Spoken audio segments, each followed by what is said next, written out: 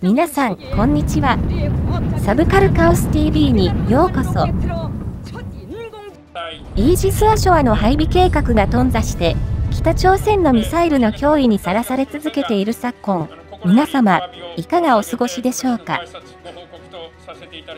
今回のサブカルは、向こう隣の不気味な隣人、北朝鮮の空軍力について、その歴史の始まり、数々の戦争での実戦経験、装備している機体の性能、そして今後どうなっていくか。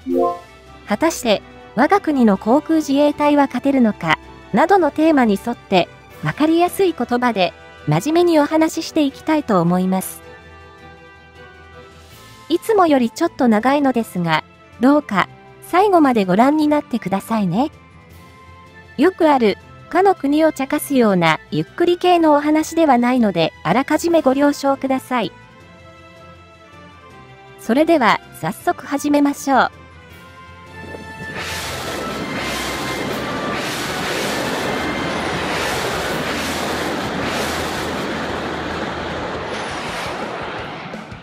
現在の我々にとって忘れ去りたい最大のナイトメアの一つなのですが、本当に忘れてしまった方のために改めて説明します。朝鮮半島は当時の日本政府の失策により長らく日本の領土となっていました。わしは責任持ちませんえんなんちゃって。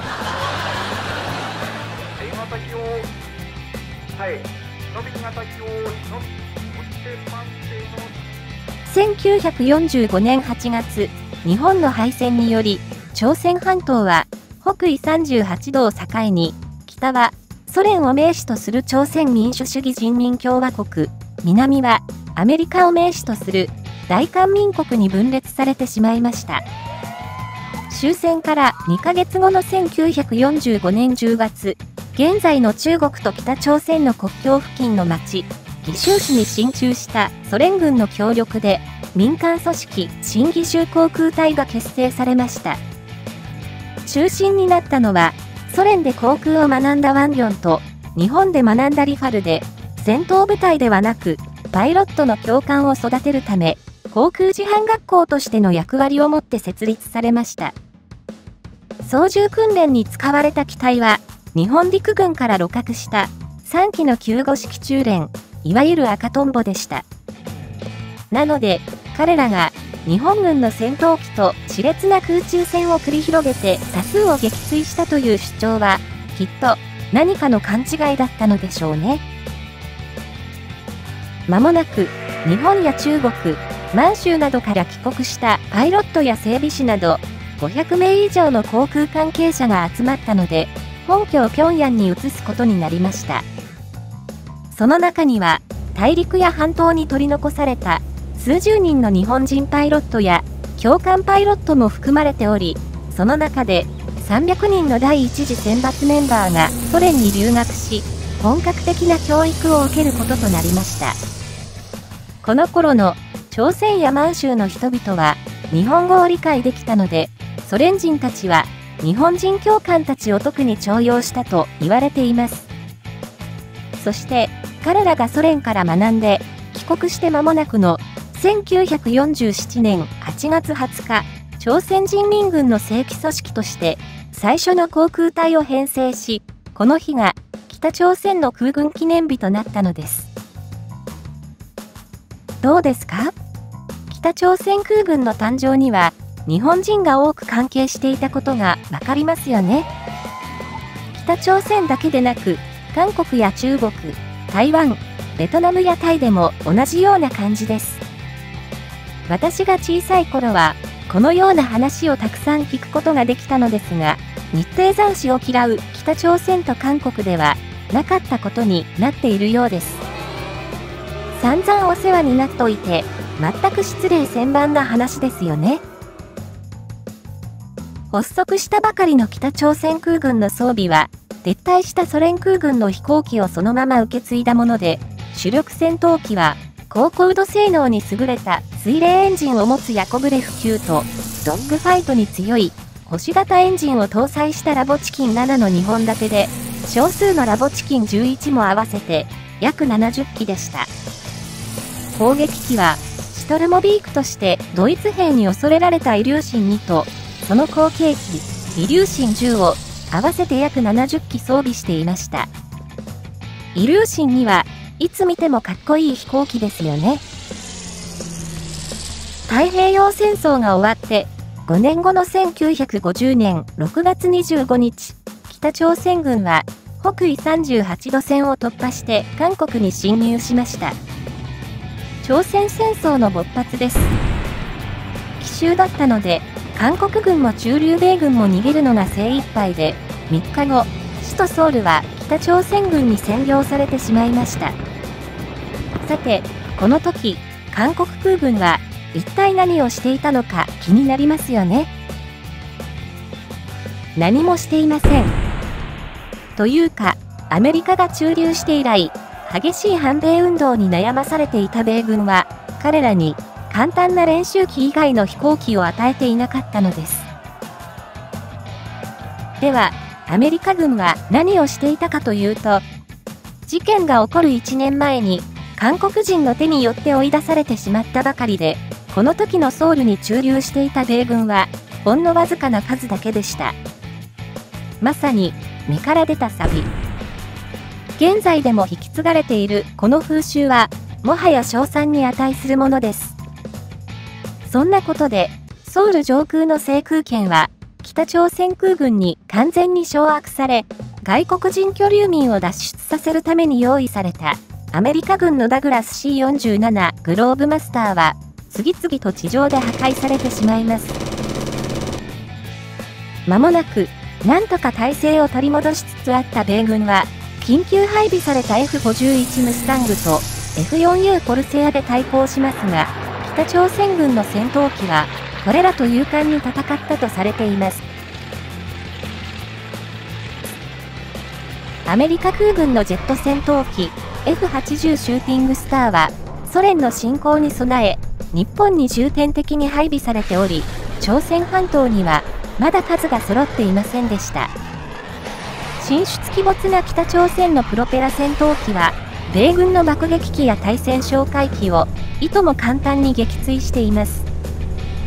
その後、国連軍となり、攻勢に転じたアメリカ軍は、F80 や F84 など、300機以上のジェット戦闘機を持ち込み、制空権も取り戻すことになったのですが、北朝鮮の第二次ソ連留学パイロット500人が帰国した時に、彼らが操縦桿を握る機体は、ソビエトの最新鋭機、ミグ15に変わりました。ミグ15は、アメリカが F86 セイバーで対抗するまで、数多くの国連軍の作戦機を撃墜し、北朝鮮側の資料によると、ソ連人教官パイロットと共に100機以上のセイバーもその大口径機関砲の餌食にしたとあります。西側陣営に属する我々には、朝鮮戦争当時の北朝鮮空軍が、とても弱かった印象しかありませんが、実際に弱かったのは中国人民義勇軍の即席パイロットで、北朝鮮軍のパイロットは、正規の訓練を受けており、この戦争を通じて、多くのエースパイロットを輩出し、貴重な実戦経験を得ることになったのです。朝鮮戦争での空中戦に関しては、以前公開した動画が詳しいので、興味のある方はご覧になってください。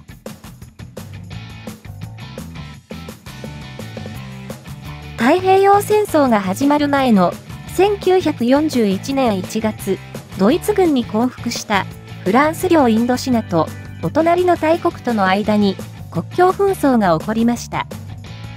タイ側の要請もあったことから、日本陸軍は政府の反対を押し切り出兵します。そして、紛争を仲裁するとともに、インドシナ半島の実権を手中に収めることにも成功しました。ここでも、やはり、日本が戦争に負けると南北に分割され、1947年、舞い戻ってきた宗主国フランスと、独立を求めるベトミンとの間にインドシナ紛争が勃発したのです。1961年、アメリカ合衆国大統領に就任したジョン・ F・ ケネディは、インドシナ半島に介入、ベトナム戦争の幕開けです。1965年10月、北ベトナムと同盟関係にあった北朝鮮は、ベトコンの要請により、この戦争に参戦することを決定します。北ベトナムが北朝鮮に与えたものは、20機のミグ17と10機のミグ21のほか、彼ら専用の航空基地と、北ベトナム軍の軍服、15トンのキムチです。そして、北朝鮮空軍は、ベトコンに対し、パイロットを含む、延べ約800名の航空兵を与えました。翌月には現地入りして、気候や地形などに慣れるための訓練を積み、12月には初戦果を上げています。アメリカの敗戦が決定的となった1969年には、たった1日で12機の F105 を撃墜するなどの戦果を上げ、100機以上の米軍機を撃墜したと宣伝されています。アメリカは、この年、アポロ11号が人類初の月着陸を達成することで優位性をアピールするのですが、北朝鮮は日本海でアメリカ海軍の偵察機を撃墜してアピールしました。乗員31名は全員が行方不明。事件当時、ベロベロに酔っ払っていたニクソン大統領は北朝鮮に対して核報復を支持するのですが、冷静なキッシンジャー補佐官の起点によって、事なきを得ました。何考えてますね。ソ連と戦争になりますよ。1973年10月6日、ユダヤ歴で最も神聖な日、ヨムキプール、食材の日にあたるこの日、6年前の第3次中東戦争でイスラエルに占領された領土の奪回を目的として、エジプト・シリア両軍が、それぞれ、スエズ運河、ゴラン高原に展開するイスラエル国防軍に対して攻撃を開始しました。北朝鮮空軍は、キューバやパキスタンとともに、この戦争に介入しています。前回のベトナム戦争と違い、政治的イデオロギーで参戦したわけでもない北朝鮮が欲するものは、エジプトに配備されたばかりのソ連の弾道弾、スカッドミサイルの資料です。国際問題の標的にさらされたくない北朝鮮は、エジプトから15機のミグ21とカイロ南側の航空基地を借り受け、カイロの防衛の任務についていました。10月18日、カイロを空爆に向かうイスラエルのファントムと北朝鮮のミグ21による空中戦が行われ、北朝鮮人パイロットが操縦桿を握るミグ21は、3機のファントムを撃墜しています。北朝鮮側も1機撃墜されましたが、これはエジプト軍の地対空ミサイルによる誤射によるものでした。この戦争を通じて、6機のイスラエル機を撃墜したという記録が残っています。この戦いの模様は、動画、砂漠の北朝鮮空軍をご覧になってください。これまでに得た豊富な実戦経験を高く評価され、シリアやイラン、多くのアフリカ諸国、ラオスやパキスタン、キューバなど、世界中の第三国や地域に、戦闘機パイロットや教官を輸出している、または、しているのではないかとの噂があります。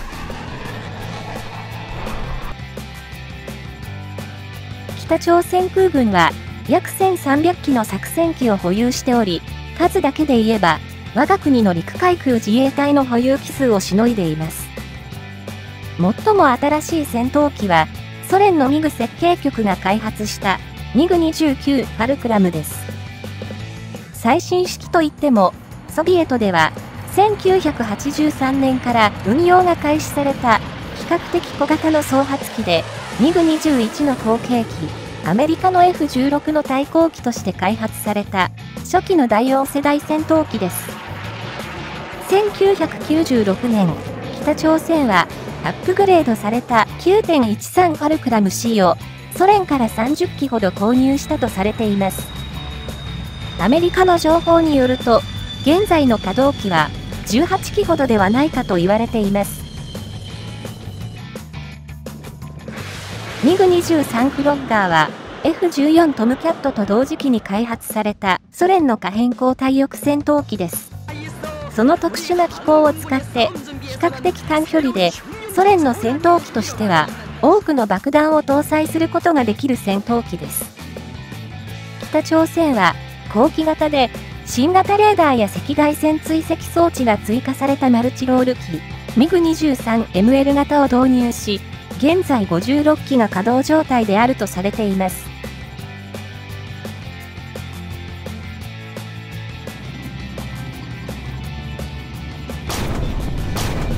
2010年に起きたヨンピョン島砲撃事件では、10機のミグ23が出撃し、韓国軍の KF16、F15 系と睨み合いました。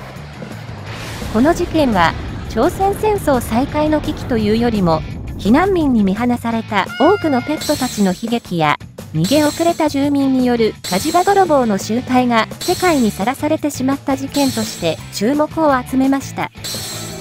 これらの韓国住人の暴挙は、朝鮮人民軍の電磁パルス EMP による電波兵器の影響により錯乱しただけで、普段の彼らは、このような愚かな行為をする人々ではありません。北朝鮮人民軍は、世界で最も礼節を尊ぶ韓国国民を一瞬にして極悪非道のボートに変える恐ろしい兵器をも装備しているのです。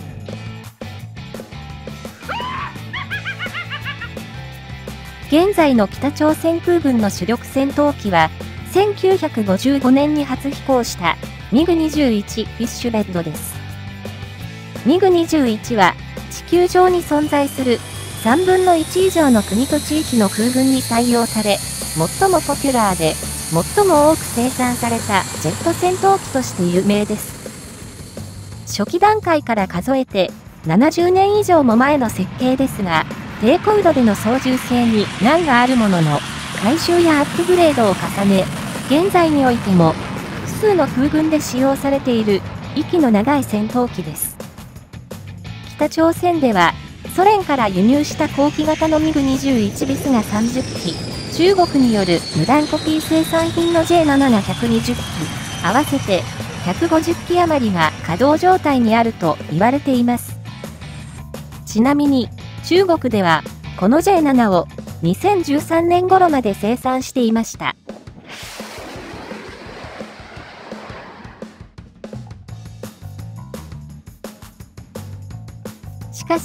ミグ21で驚いている場合ではありません。最も驚くべき点は、次に紹介する3機種です。100機のミグ19ファーマー、107機のミグ17フレスコ、そして朝鮮戦争で活躍したミグ15ファゴットも5機が稼働状態です。ミグ15以外は中国で生産された機体です。さすがにミグ15は戦闘配備ではないと思われるのですが、2019年、北朝鮮のカルマ飛行場を撮影した衛星写真を分析した結果、数多くの軍用機が並ぶ中に、ミグ15が含まれていたことが確認されています。このミグ15は、複座練習機型の JJ2 型と言われ、現在でも10機以上が現役で、新人パイロットの教育に使用されています。中国版ミグ17は、最近公開された北朝鮮の宣伝動画には登場していません。北朝鮮初の女性パイロットが配属されたのが、このミグ17の部隊のはずです。第1世代や第2世代の戦闘機が未だ実戦配備されているのは驚きですが、迎撃機としてではなく、戦闘爆撃機として使用しているようです。不気味なのはミグ19です。北朝鮮は、ベトナム戦争でデビューしたこの戦闘機を100機持っているのですが、宣伝画像やニュースに全く出てこないのは不穏ですよね。最近も第三国で不要になった機体を輸入しようとして、バレてしまった事件もありました。この機体の恐るべき使い道に関しては、もう少し後で説明しますね。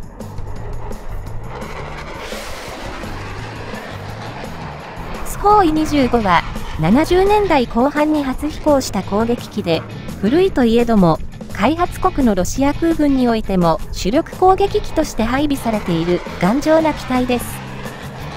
アメリカの飛行機で例えると A10 攻撃機と同じで 30mm 機関砲を備えて4.5トンの爆弾を搭載することができます。北朝鮮では34機のスホーイ25を保有しています。他にも、博物館級の超音速戦闘爆撃機スホーイ7を18機、中国版イルーシン28は、なんと80機が稼働状態であり、その多くは、北緯38度線付近の航空基地に配備されています。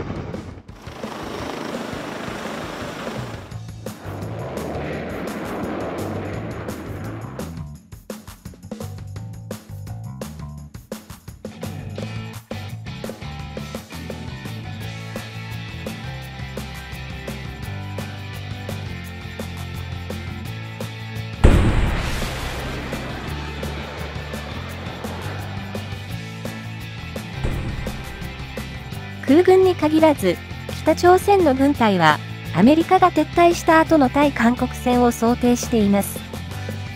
しかし、北朝鮮の戦闘機は、韓国の F15 系や KF16 と、がっぷり四つでの空中戦など考えていません。防空の主役は、もっぱら、対空ミサイルの役割へとシフトしています。韓国に対する作戦は、70年前と同じく、奇襲攻撃です。いくら博物館級の装備であっても、100万人の兵隊、3000両の戦車とともに、300機以上の攻撃機、中短距離弾道弾の飽和攻撃にさらされれば、アジア最強と自称する韓国軍といえども壊滅し、その後の南朝鮮の食卓では、ちょっぴり甘めな味付けのキムチが並ぶことになるでしょう。離陸してから数分で、ソウル上空に達することができる北朝鮮の攻撃機の前に、今後導入される予定のステルス機や、飛んだり飛べなかったりの早期警戒管制機などは、何の役にも立ちません。最近になって、旧式輸送機、アントノフ2を空挺部隊用にと、不要になった国から大量に密輸入していますので、その日に向けての準備は着々と進んでいると考えてもいいでしょう。逆に、韓国に奇襲されることを想定して、訓練やスクランブル任務についている迎撃機を除く大半は、内陸の航空基地や山の中腹に作られた地下飛行場に、少し手を加えればすぐに飛行できる状態で保管されています。ちょうど、こんな感じでしょうか。スイスや台湾にもありますよね。地下施設の建設に関しては、北朝鮮は先進国で、その技術はエジプトやシリアなどに輸出されていると言われています。滑走路が破壊された時のことを想定して、一般の道路からの離発着訓練も行われています。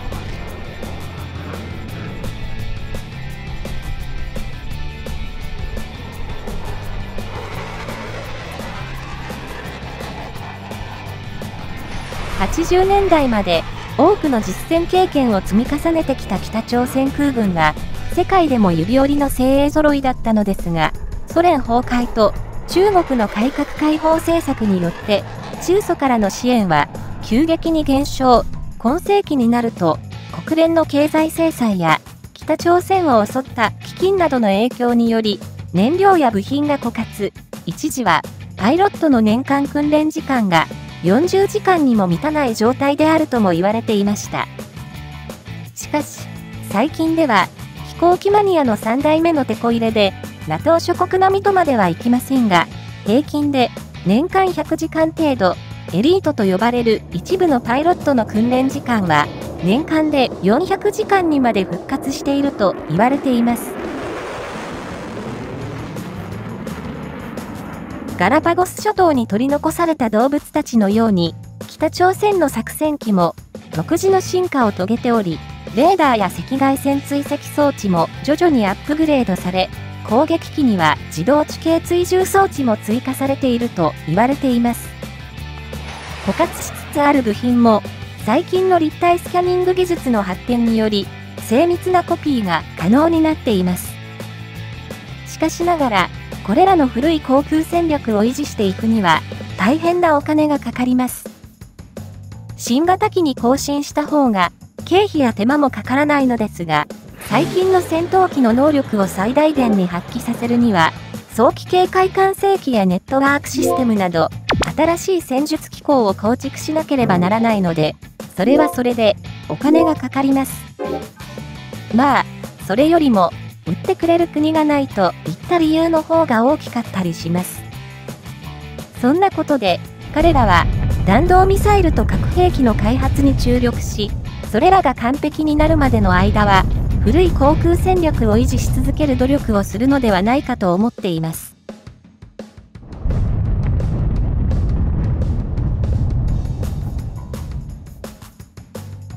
さて、そんな北朝鮮空軍に我らが航空自衛隊は勝てるのでしょうか？先ほどもお話ししたように、彼らの軍隊は韓国向けに装備されていますので、戦闘機や爆撃機による日本侵攻はまず考えられません。北朝鮮から発進して、日本の上空で空中戦をしたり、爆弾を落として基地まで戻れるまでの航続距離を持った飛行機がないからです。たとえ、今後、大量の空中給油機を揃えて攻め込んできたとしても、最新の戦闘機と戦闘システムを誇る航空自衛隊に勝てる可能性は、あなたの頭に隕石が直撃する確率に匹敵すると言ってもいいでしょう。ただ、心配なのは、100機以上保有しているはずなのに、全く表面に出てこない MiG19 の中国版 J6 の存在です。2011年、台湾に近い福建省の基地で50機以上の無人化した J6 を大量配備している衛星写真が報じられました。これは中国の事例で、中国人民解放軍では400機から600機が改造されていると推測されていますが、北朝鮮でも同じように大量の無人機改造型の J6 を隠しているのではないかと言われています。すなわち、巡航ミサイルの役割を担っているのです。もちろん、北朝鮮が日本を攻撃してくるときは、彼らの政権が滅亡の危機に差し迫っている時なので、100機の無人 J6 は核爆弾を搭載していることでしょう。同時に、200発の弾道弾も軍事基地ではなく人口密集地に向けて発射されます。海上自衛隊や航空自衛隊の皆さんが頑張ってそれらの3分の2を撃墜してくれたとしても100発の核弾頭が日本に着弾することになり、日本列島は地獄の豪華で焼かれてしまいます。現在の日本の防衛力では、残念ながら、北朝鮮の攻撃の前に屈することになり、このおばちゃんが武々しく言っていることは、あながち嘘ではないのです。